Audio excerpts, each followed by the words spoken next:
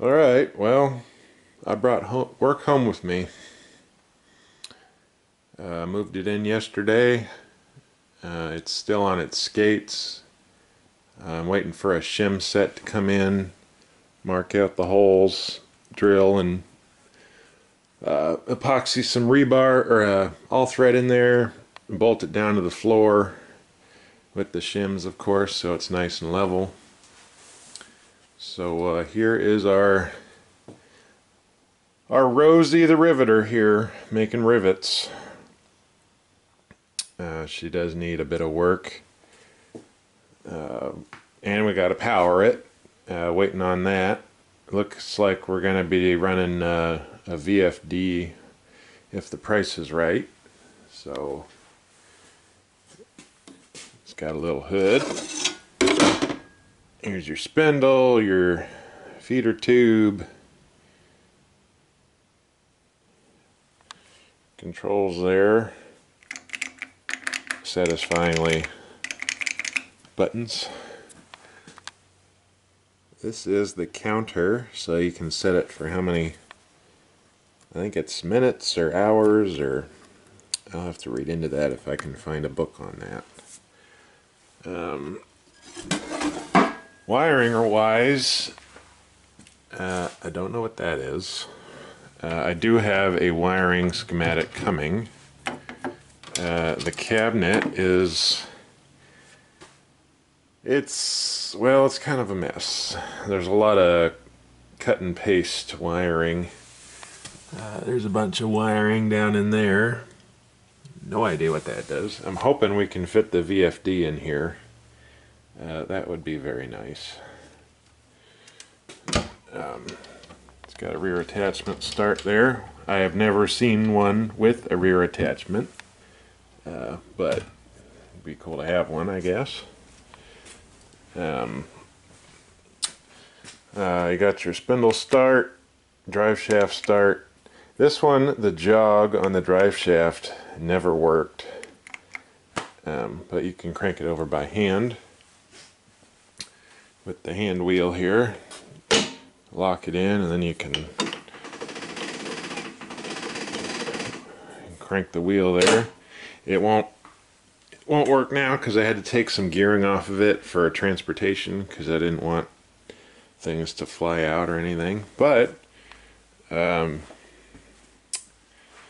what transportation wise, it went pretty darn smooth.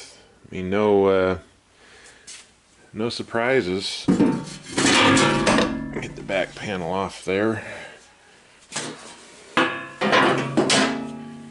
Pardon the rag there. This is your uh, cam oiler. So all these all these lines are for oil. So as the machine spindle's running, this is slowly turning and pumping oil throughout all these lines. And uh, she's a complicated one, but it's always fun to see her run when she is running. It's got a third horsepower three-phase motor and it's got a uh, three horsepower down there. Pardon me there. Uh, this is a Delco product of General Motors Corporation. And it's got the original Brown and Sharpe tag here. This motor is equipped with pre-lubricated ball bearings. Sealed for life. But I sadly don't have a date on this motor.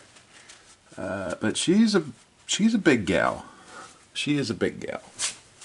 Uh, what is it here? Serial is K55 so would I assume it's a 1955 here? There you can get a better look at it.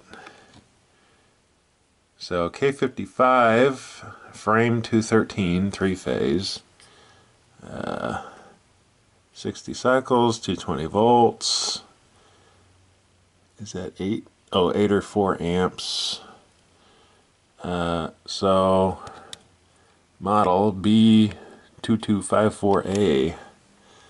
So I guess we'll find something out about that.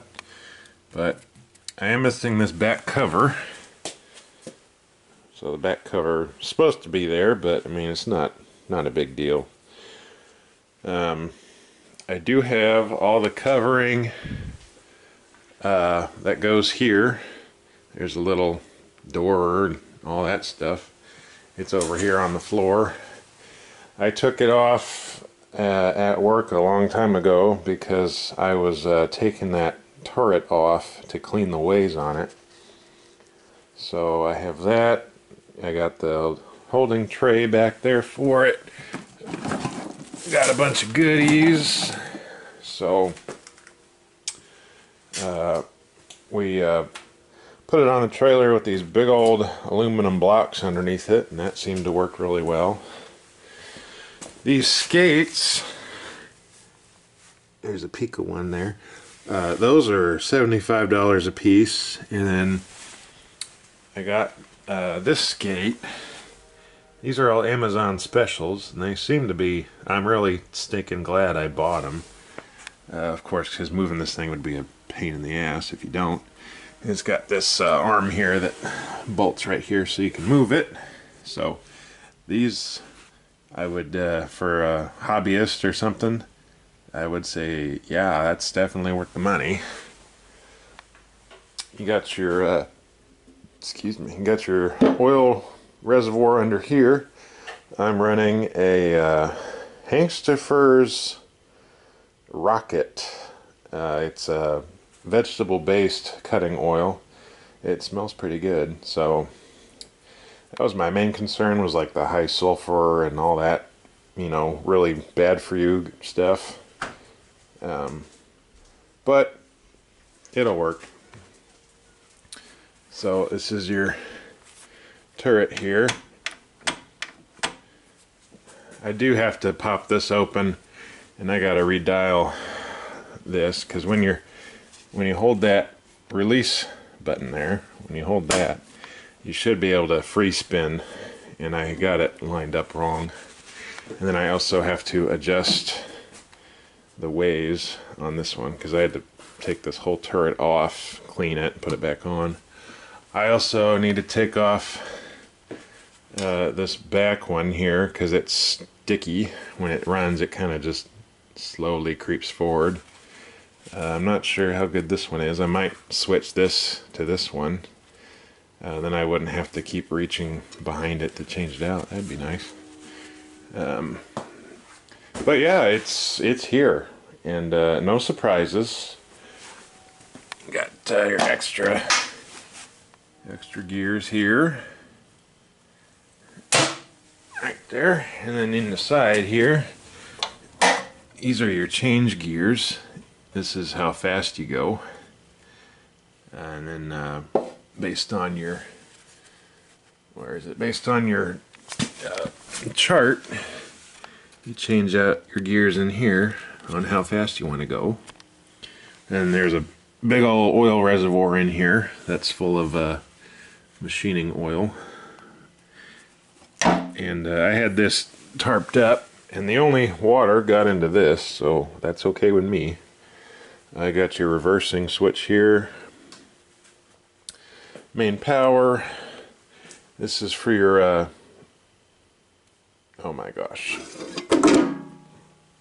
It's for your part off. So the cam here controls this portion. Uh, this cam controls that one. And there's no cam here, but this spot, this spot would be for this right here. And then you got uh, your turret. These these feed dogs tell it when to trip the turret, do a tool change. This one, oh wait, that one right there is the little chute that pops open when you got a part off your tool and it spits it out. And what is it? I believe that one, oh man, getting kind of rusty now. Oh, we'll do an in-depth video anyway. I'll save you the uh, the horror. Uh, it's been since late August since this was last turned on, and that was uh, that was just me turning it on to try to get as much lubrication into it before they decommissioned it. So uh, yeah, we got uh, plenty of room. Got 12 foot, 12 foot off the back. We're gonna have to make a uh, tube stand. There should be a tube coming off here, extends 12 foot that way onto a stand. Got to bolt that stand into the concrete. Then you can lift it up, put your stock in, put it back down. Uh, you can have extra stock up here you know, doodads and things. So this is a double O screw machine. It can go up to a half inch diameter. Uh, the current stock I'm going to be turning is 3 sixteenths, but we got lots of uh, extra tooling and things in case uh, we need lots of washers or knurled threaded inserts or what I mean whatever uh, whatever I can do, I'm going to do on this thing because we got student debt we got to pay off. And that's the main goal with this is just to chip away at the student debt that's coming up due here. And then make more money on the side, you know. That's that's the one goal. And then we got to figure out the whole Uncle Sam business. But in the meantime, she will sit here. I'm going to work on the turret, uh, the indexing of it and uh, yeah, so she made it.